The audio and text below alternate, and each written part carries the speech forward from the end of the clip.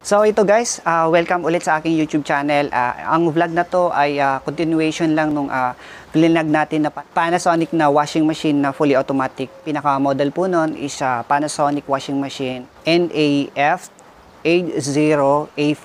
8 kilograms siya na hindi pa siya inverter.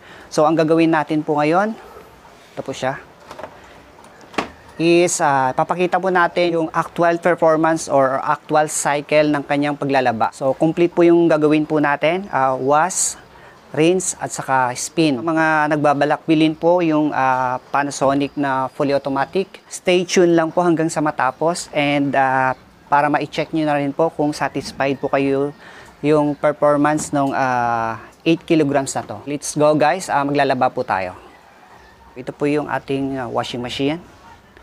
And ganito lang ang lalaban natin, konti lang. Then, syempre, ang una natin gagawin, guys, ah, dapat always naka-open po yung ating faucet pag naglalaba po tayo para tapusin niya hanggang sa spin. And then, guys, maglo-load na po tayo. Yan.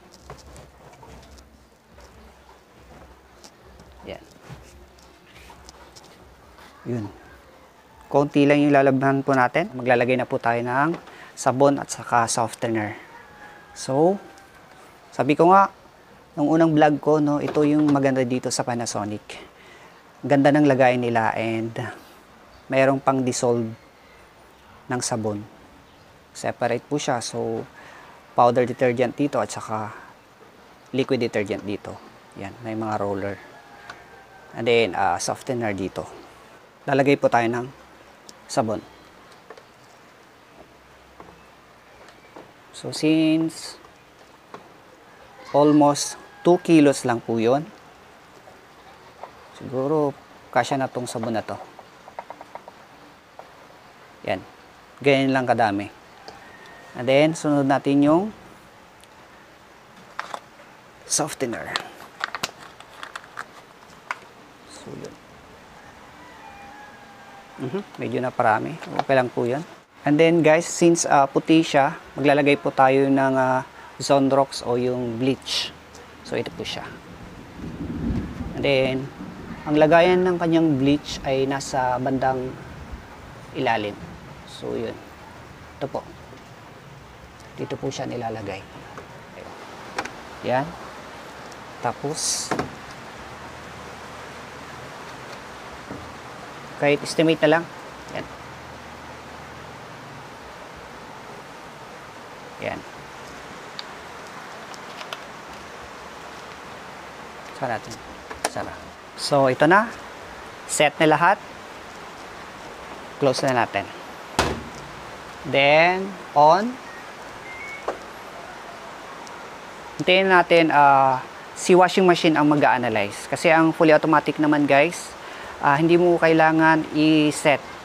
Uh, si washing machine na mismo ang uh, mag-analyze kung anong klaseng damit yung niload mo sa uh, tab. So, siya na ang magsiset ng time and yung uh, cycle ng uh, pagbabanlaw hanggang sa lahat na, hanggang sa matapos yung ano, uh, paglalaba. So, syempre, di ba, fully automatic, hayaan mo na lang, upo ka na or pwede kang gumawa ng uh, panibagong trabaho sa bahay. Pag binalikan mo, isasampay mo na lang. So, ganun ang fully automatic. Uh, start natin. So, mabilis lang siyang mag-analyze, guys. Naglagay agad siya ng tubig. So, kunting ikot lang and then alam na niya kung ilang oras niya lalabhan yung nilagay nating damit. So, ito po siya. Yan yung minutes ng kanyang paglalaba.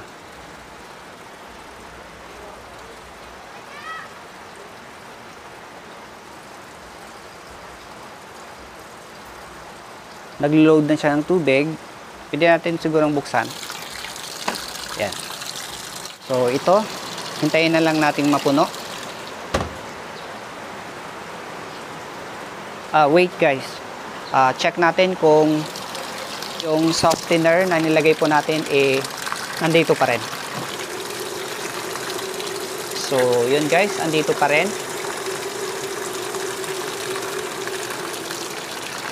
Dapat kasi yung softener, uh, magdi-dispense lang siya during nung uh, last cycle ng kanyang pagbabanlaw.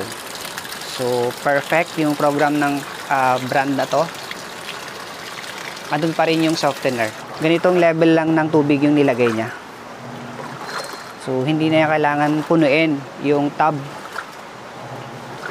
Dahil uh, na-sense niya na konti lang naman yung damit na nilagay natin. So, siya na rin yung uh, nag-adjust kung ilang tubig lang yung ilo-load niya. Nakita nyo guys, ito po yung actual wash uh, cycle niya. Uh, powerful nga siya, no?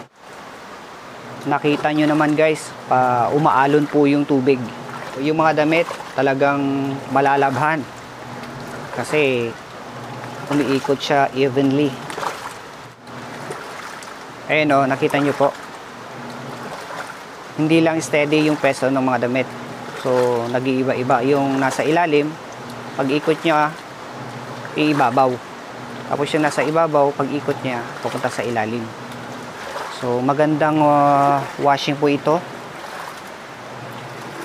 Kahit walang roller yung uh, pulsator ng uh, tab niya, super powerful po talaga yung paglalaba. So, nakita nyo to guys, may purpose pala yung ano dito, yung uh, parang butas dito na haba. Uh, naglalabas po siya ng ano, ng tubig. Ayan o. Ang galing. Uh, isa rin yan sa nakakatulong para mas maganda yung uh, paglalaba. Parang nagsha-shower siya ng tubig. dapat pag open nyo ng faucet, sunod nyo pong ibaba yung drain hose. Yan. Baka makalimutan nyo po kasi uh, hindi matatapos yung paglalaba niya dahil hindi po siya makakapag-drain. Hindi po susunod yung uh, next cycle niya na uh, pagbabanlaw. And then after niyang magbanlaw, magdi-drain po ulit And then ang gagawin niya, mag spin naman siya. So habang hinihintay po natin matapos, ibaba na po natin yung cover. 44 minutes uh, left na lang. Uh, yun pala, i-include natin guys, normal lang po yung kanyang uh, cycle, no? Since yung nilagay po natin maninipis lang at konti lang. So yun, yung cycle niya, uh, mag-a-add siya ng tubig Nakakita natin kanina, konti lang yung tubig pero uh, nag-add-add siya ng konti. Ayan.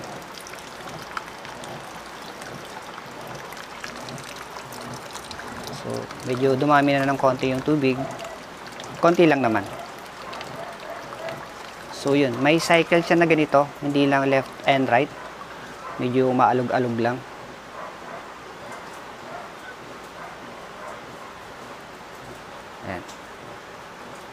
After niyang ginawa yon medyo umaalog-alog ng konti. Nag-drain na po yung tubig.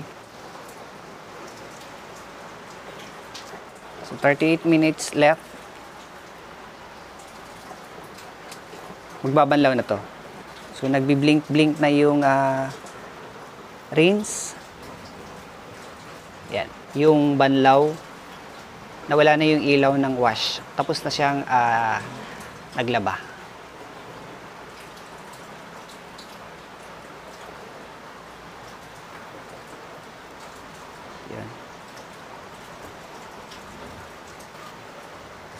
Nubos niya lang yung tubig. So, yun yung error message niya. So, ibig sabihin, ah, pinapasara niya po yung door. Yan. So, ito na yung next niyang gagawin. Para siyang magpipiga, guys. O, ikot lang siya ng konti. Ayan, may konting uh, tubig na lumalabas para mapiga yung nilabhan niyang damit. Yan. Ito guys, hindi pa po ito uh, last cycle ha. Ano pa lang po ito? Bago po magbanlaw yung ginagawa niya. So after niyang maglaba, pinigaan niya and then magbabanlaw po siya. So real time po natin guys. para po ma-appreciate nyo po yung kanyang ah, full cycle ng paglalaba.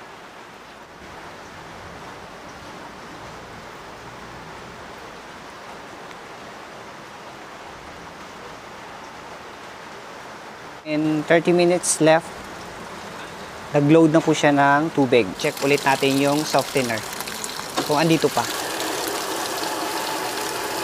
So, yun guys, andito pa. Perfect. So, ito na guys, yung nilagay niyang tubig is same lang nung ah, nag-wash itong ating fully automatic. Ganon din kadami. So, nagbabanlaw na po siya.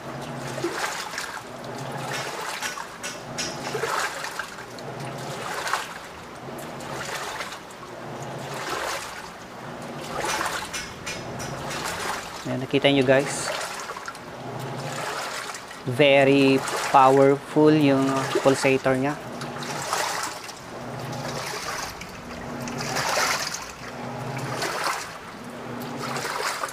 And uh, ganun pa rin.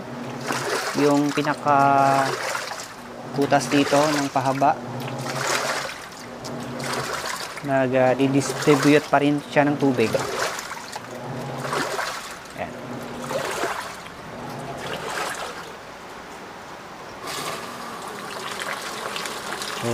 May cycle siya na dadagdagan niya ng tubig. Habang nagbabanlaw. So, ito guys, nag-a-analyze para mag-drain na po ito. Pasensya na po, umuulan na naman kaya medyo maingay po yung ah, background po natin. Aha, yan po. Yan po guys, umuulan. So I think ah, dalawang banlaw lang to dahil konti lang naman yung nilabhan po natin. Ang pinaka-maximum kasi na pagbanlaw is tatlo. Depende gaano kadami yung niload mong damit. So analyze siya ulit. 25 minutes left. Yan, tumunog na naman. Sabi niya, isasara po natin yung ah, pintuan. Kasi ah, mag spin na naman to, magpipiga. So, ito in ah, 20 minutes left, nag-load siya ng tubig sa pangalawang banlaw niya. So, 19 minutes left. Check na natin sa pangalawang banlaw ng ah, ating washing machine kung dinispense na niya yung softener. So, ito na siya. So, ibig sabihin, last na po na banlaw niya to. Dalawang beses lang. Yan. Pabanlaw na siya ulit. Buksan po natin. So, medyo malabo ng konti kasi andyan na yung ah, Fabcon po natin. Kulay blue po kasi yung kulay po ng Fabcon natin. In 13 minutes left, nag-drain na po siya ng tubig. So, ito po. In 11 minutes left, umandar na po para mag-spin. And ito nga, yung program niya, spin na lang yung nagbi-blink. So, last cycle na po siya. Patapos na po siyang mag-spin. And pabagal na po yung ikot ng ating tub.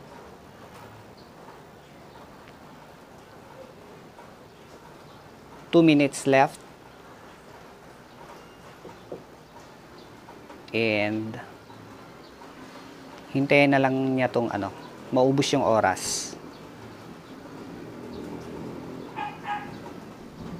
So yun. Guys, pa patapos na po tayo.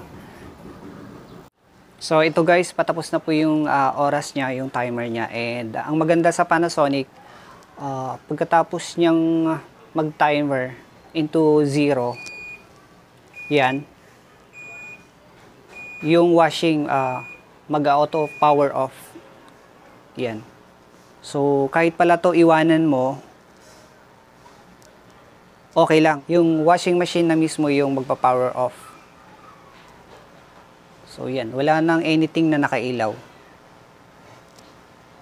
So yun, tapos na po tayo maglaba and kukunin na po natin yung ating nilabahan.